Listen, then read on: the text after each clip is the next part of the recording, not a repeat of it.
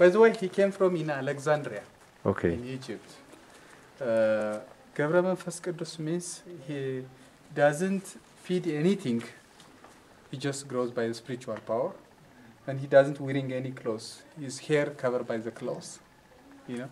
His hair is co- Cover his body his is body, covered by yeah. hair, and also the, he was feeding leopard and wild animal. Cut his flesh and feed to leopard and lion. The trusty bird is drinking is eye tear also. You see. Yeah. Yeah. And so uh, he's just be weeping and trust his IT. Finally, according to the miracle of his book, said that he just be living a long time, long life. After this, I don't like to see anything, you know. So he just be called this bird. His bird is to take he, take out his eye from his body because I don't like to see anything after this. He just be living long time like that. You know. So, Thank you.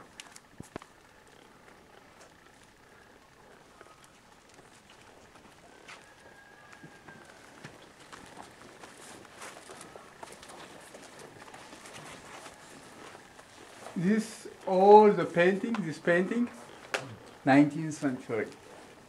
The original this one. Do you see? So- the original 16th century. This is 19th century. Okay. Most of the story about the miracle of Saint Mary. This is Ascension of Mary. Is John the Baptist. His mother's Elizabeth. She didn't have children until 18, 18 years old, 80. When she became 18 years old, she was born John the Baptist. So Jesus Christ and John the Baptist was born in the same period, the massacre of Herods. So Saint Mary fly to Egypt, and Elizabeth went to also Egypt to save Jesus Christ and John the Baptist. On the way she passed away, God took this bushbuck. he was feeding bushbuck until seven years old. Okay. Yeah. ኤልሳቤት ኤልሳቤት 80 ዓመት እስኪሞላት ድረስ ልጅ አልነበራትም። 80 ዓመት ሲሞላት ዮሐንስ መጥምቆ ወለደችው። ከዛ በኋላ ዮሐንስ መጥምቆና ኢየሱስ ክርስቶስ የተወለዱ በአንድ ዘመን ነበር፣ በሄሮድስ ዘመን። ሰው ከሄሮድስ ለመታደግ ልጆቻቸውን ሲሉ ወደ ግብፅ ተሰደዱ። መንገድ ላይ እየሄዱ እያለ በግብፅ በረሃ ላይ ኤልሳቤት አረፈች። ባረፈች ሰዓት ሲጸልዩ እግዚአብሔር ሰጣቸው። የበረሃ ድኩላ ወይም ሶራ ትባላለች።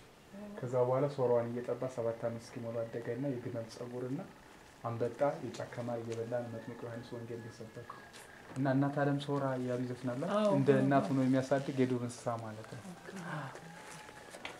ይህ ዘማሳ